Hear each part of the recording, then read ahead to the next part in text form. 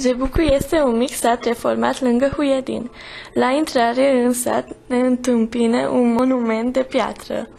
Satele învecinate sunt Stana, Spăraș și Șaula. E o regiune deosebit de frumoasă cu păduri dese pășuni verzi. Tatăl meu a crescut în, în acest sat și aici trăiesc bunicii mei. În sat funcționează casa de copii Betesda. Aici vin des musafiri din Olanda și Germania. Musafirii se ocupă mult de copii, îi învață cântece și jocuri. Mătușa mea este directoarea la casa de copii, așa că așa că am fost și eu de multe ori acolo. O atracție a satului este Biserica Reformată, care a ars de mai multe ori.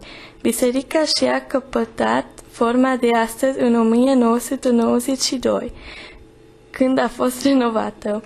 Tavanul bisericii este acoperit cu casete sculptate în lemn. Am ajuns la poarta noastră. În sat sat sunt multe porți din lemn sculptate asemănătoare, dintre care multe sunt foarte vechi. Sculptatul în lemn este transmis din tată, tată în fiu. Aici tinerii învață și dansul popular tradițional care este prezentat la ocazii deosebite. Corul folcloric a claselor 5-8 a câștigat un concurs internațional, ducând mai departe renumele satului Jebuc.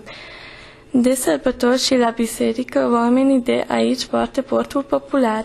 Satul are o brutărie și o mară care aprovizionează cu pâine și produse de patis patiserie oamenii, oamenii din sat și din vecinătate. La capătul satului se află și un teren de fotbal care se organizează adesea competiții sportive. Mie îmi place foarte mult acest sat, mă simt bine aici și voi reveni de câte ori am ocazia. Acesta este drumul care mă duce acasă.